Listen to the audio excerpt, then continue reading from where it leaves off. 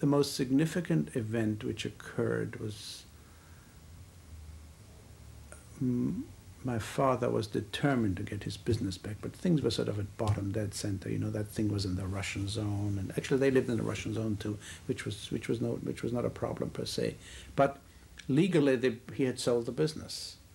He had been able to establish that the the the the, the guy who took it away from him never lived to enjoy the fruits of his plunder, because the odd thing was because because as soon as the war broke out, he and all the, his workers were drafted, and they, it was the, the place had been, was closed down throughout the war and after the war. And this man was now in prison as a Nazi, as a sort of, the Austrians were going through the motions of punishing the, uh, their Nazi citizens, going through the motions literally. It was not a very serious attempt. Now my, but of course he, he was waiting for trial and he was, and my father said, well, will, why, perhaps you can help me to see this man and we'll see what we can do with him.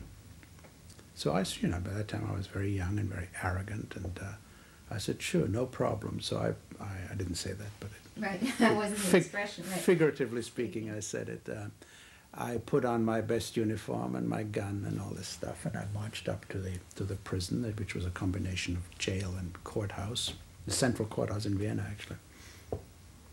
And I demanded to see this prisoner. And they, of course, they, I mean, they, they, in those days they were still very afraid, and they said, "Oh yes, yes, but we can't give the authority. The only person who can give the authority is the judge who's presiding over his case." And I said, "Where's the judge who's presiding?" Well, he's in court. Where's the court? So I, anyway, cut a long story short, I mean, as I said, I mean, I, I couldn't do this today, but I was arrogant. I marched into this courtroom, interrupted the proceedings, asked the judge to sign this piece of paper in German. Although my German was sort of a rock, bit rocky at the time, I had hardly spoken it during eight years, very little actually. He signed the release for, for us to interview this prisoner. My father and I went into this uh, this uh, visiting room where the man expressed great joy that we were still alive and how, what could he do. And my father said, well, we'd like to buy the business back from you. And he said, oh, yes, yes, yes, my help, my case. And my father said, and we'll pay you what you paid us. And he said, oh, yes.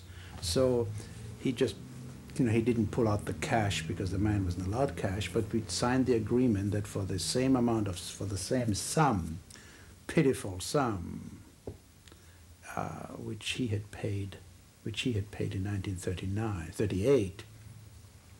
In 1947, we bought he bought the business back, and that was the end of that. And my, and my, and very shortly thereafter, my my father obtained the keys, and he went in there, and he found the he found raw materials which he had bought in 38 and 37 and 38 lumber which had cured beautifully. yes, had been sitting there, and all the machinery, while dusty and probably a little rusty, was there.